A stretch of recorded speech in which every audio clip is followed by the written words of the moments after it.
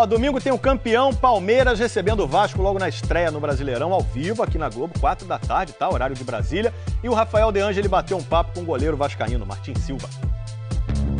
Esse consenso em São Januário foi construído nas últimas quatro temporadas.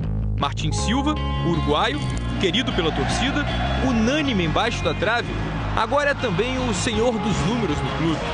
No atual elenco, o goleiro é o jogador que mais vezes atuou, 161 partidas.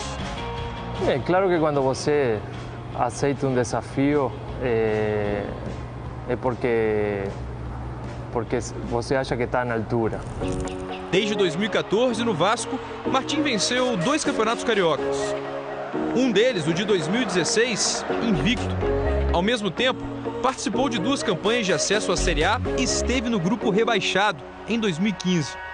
Nessa gangorra de momentos, nunca foi questionado. Justamente porque, diante dos melhores atacantes do Brasil, venceu muitas vezes. O Guerreiro defendeu! Martin Silva, espetacular o goleiro do Vasco. E é o mais bonito de, de jogar futebol quando você enfrenta os caras, os melhores. Né? Quem, por exemplo?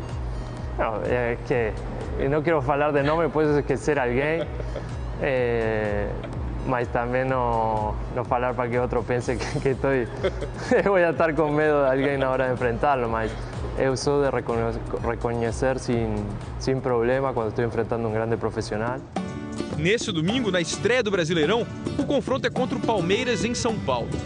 Quero que seja o ano de, de confirmação do Vasco, de poder se afirmar na Série A, que, que deveria ser o normal de um time com esta grandeza. Essa temporada no Vasco também é muito importante para o Martin Silva, porque pode refletir na seleção uruguaia. Ele participa da seleção desde as categorias de base, sub-17, sub-20, disputou duas Copas do Mundo e agora? Está estudando russo ou não? No, no, no va a ser necesario, ¿no? Mas eh, es claro que, que estoy con, con, a mirada fixa na Rússia 2018, quero, quero ser parte desse grupo e ter a experiência do, do terceiro mundial. Para isso, o Uruguai precisa confirmar a vaga nas eliminatórias sul-americanas. No momento, a seleção celeste está na terceira posição. O próximo jogo é só no fim de agosto contra a Argentina. Também cada, cada convocação é, é um prêmio ao que você está fazendo e é uma das razões também pelo que eu me dedico tanto aqui dentro do Vasco.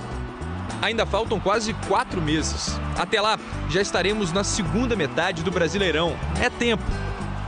Enquanto isso, ele é todo Vascão.